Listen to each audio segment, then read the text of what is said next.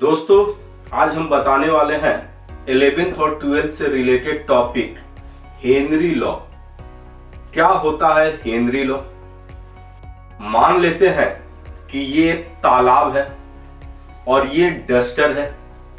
ये जो डस्टर है, ये लकड़ी का बना हुआ है। लकड़ी, दूसरा चीज़ ना समझिएगा। और जब इस डस्टर को ऐसे छोड़ देंगे, इस तालाब में तो पहले तो ये डूबने लगेगा और डूबने के बाद फिर ये तैरना शुरू कर देगा। बहुत सारा चीज़ डूबने के बाद तैरता है। तब समझ में आता है, इंसान का वजूद कुछ नहीं है, वजूद उसके आत्मा का है। तो ये डस्टर जब छोड़े, डूबा, फिर ये तैरने लगा। इसको एक फिंगर से प्रेस किए तो नीचे गया। दो फिंगर से प्रेस किए और नीचे गया। तीन से प्रेस किए और नीचे किया। इसी के ऊपर बैठ गए। तो ये नीचे ही रहेगा। तो यहाँ पे क्या है कि जो मास ऑफ़ द गैस है, वो dissolve in a liquid is directly proportional to the pressure exerted by the gas over liquid at constant temperature यही हेनरी लॉ है। जो इलेवेंथ में जानना था। इसी को डाल्टन भैया, जो हेनरी के दोस्त थे, उन्होंने इसको मॉडिफाइड किया।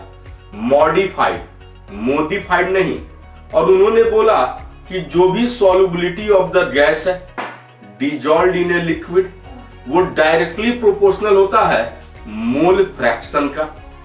यानी जितना ज़्यादा प्रेशर अप्लाई करेंगे, उतना ज़्यादा सॉल्युबिलिटी ऑफ़ द गैस जो है, बढ़ जाएगा। प्रेशर से रिलेटेड एक चीज़ जान लीजिए। जितना नीचे जाइएगा प्रेशर उतना ज़्यादा रहेगा। और जितना ऊपर जाइएगा प्रेशर उतना कम। जैसे जूनियर क्लास में बहुत प्रेशर रहता है। साइंस पढ़ना है सोशल साइंस पढ़ना है, हिंदी पढ़ना है, संस्कृत पढ़ना है मरल साइंस पढ़ना है। मरल साइंस नहीं मोरल साइंस तो बहुत सारा सब्जेक्ट पढ़ना है, साथ ही साथ जी के फाइन आर्ट्स क्या क्या। टेंथ पास किए तो इलेवेंथ में यदि गलती से साइंस लिए, इंसान गलती से ही लेता है तो उसमें या तो फिजिक्स केमिस्ट्री मैथ्स या फिजिक्स केमिस्ट्री बायोलॉजी और उसमें भी एग्ज़ाम के एक दिन पहले बायोलॉजी पढ़ता है। बहुत ऊपर चले गए तो पढ़ने का ज़रूरत ही नहीं है। यानी जैसे जैसे ऊपर जाएँगे प्रेशर कम होगा और जैसे जैसे नीचे जाएँगे प्रेशर बढ़ते जाएगा। तो यहाँ पे हेनरी भैया जो है, वो अपना मैथमेटिकल एक्सप्रेशन दिए थे कि पी ए यानी partial pressure of the gas वो डायरेक्टली प्रोपोर्शनल है मूल फ्रैक्शन के। और जब प्रोपोर्शनल हटाएँगे तो कांस्टेंट लाएँगे, जिसको के एच बोलते हैं। हेनरी कांस्टेंट जितना ज़्यादा के एच का वैल्यू उतना कम सॉल्युबिलिटी गैस का लिक्विड में।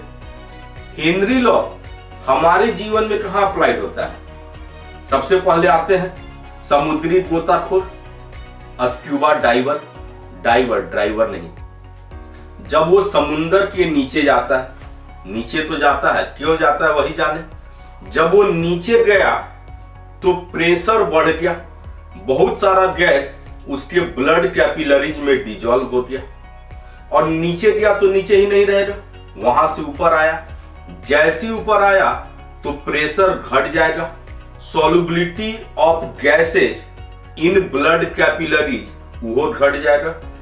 ड्राइवर जैसे नीचे से ऊपर आया तो बहुत सारा गैस जो उसके ब्लड के अंदर डिजॉल्व था, सारा गैस अचानक से बाहर निकलने लगता है क्योंकि प्रेशर घट जाता है। वैसा कंडीशन में उसको जर्क फील होता है। उसमें एयर बबल्स आ जाता है, जिससे उसको पेन होता है। और उस पेन को बोलते हैं बेंड्स इसीलिए ऑक्सीजन सिलेंडर जो वो साथ ले जाता है that one is filled with helium role जो है हीलियम का होता है।